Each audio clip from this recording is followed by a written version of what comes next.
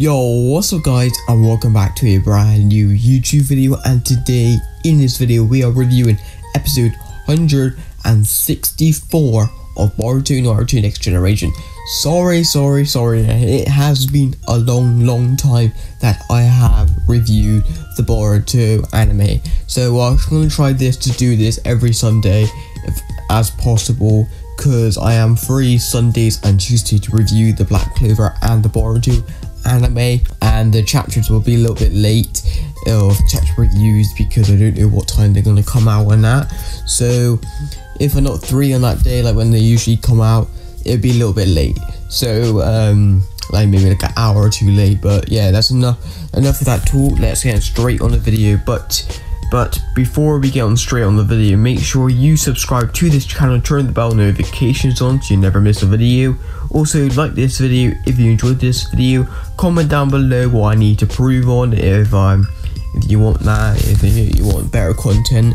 But yeah, let's get straight on the video. But so we got this opening scene back in the last episode when one of the was it Yuji um, clan members uh, from Land of Haze. Uh, remember the Quadrants with um, they're all basically guys with pink hair, like looking at uh, Boruto's team, Team Seven with Marjun. Um, so we know what happens to Marjun in the uh, manga, but this is a good addition to the anime original arc. And we got a little bit of Mujina, Mujina in this arc. So we're getting his personality in this arc, especially his personality is like very good.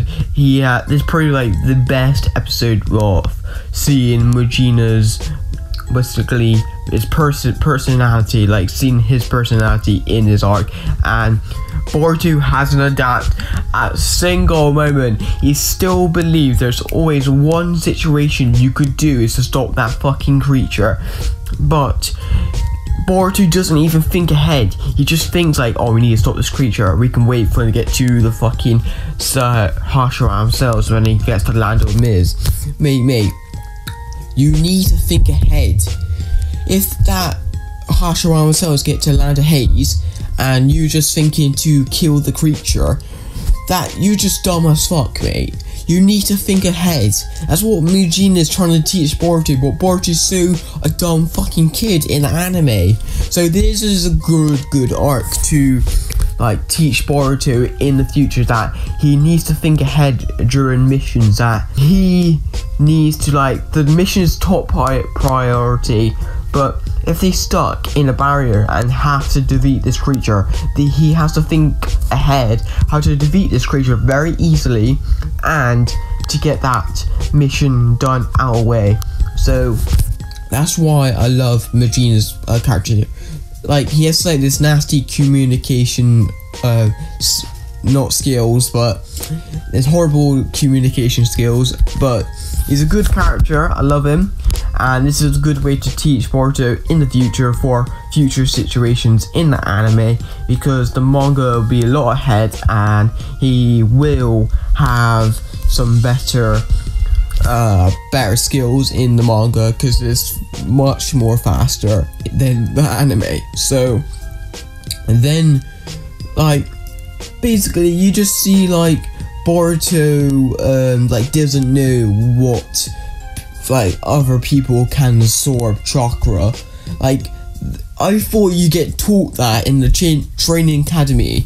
How you didn't know how when people can absorb other chakra. I thought you get taught that in the training academy because they teach you about chakra. They teach you how to train chakra.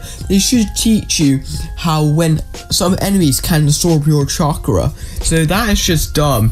I don't know the just trying to make Boruto so dumb in this episode. So that's why I hate. That's like one thing I hated about this episode. Like, Boruto is very dominant in this episode. It's like, oh, it's just so annoying. And then at the end, this is probably the best bit. You see Deepa versus Mr. Onmu, Onmu, and he's like this. Where is the Hashirama cells? So his two sword sword mates, um, uh, what's it like? Two teammates said, Oh, I tell you where it is. It's down in the haze. This bunch of uh, shinobi did this and took it and escaped with it. Then Deepa's like zoomed across and stabs and kills both of them.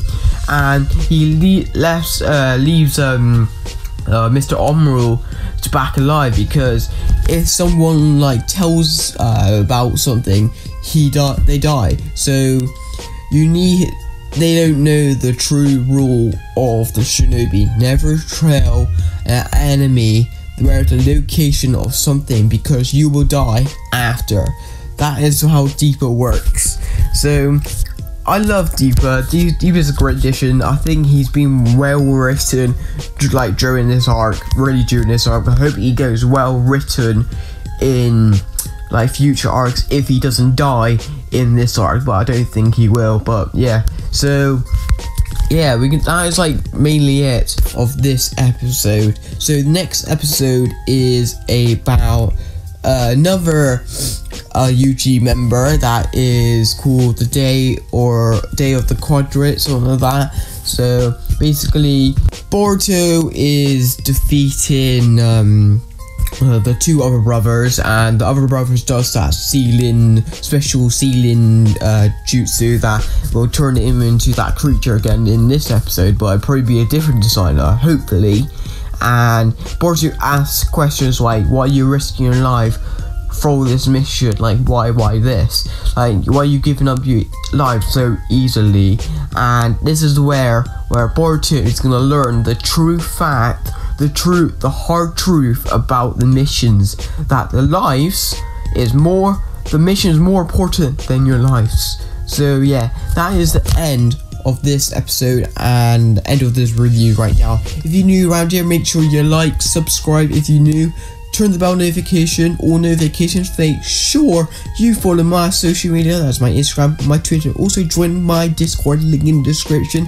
And thank you for watching please subscribe. And see you in the next video. Peace out guys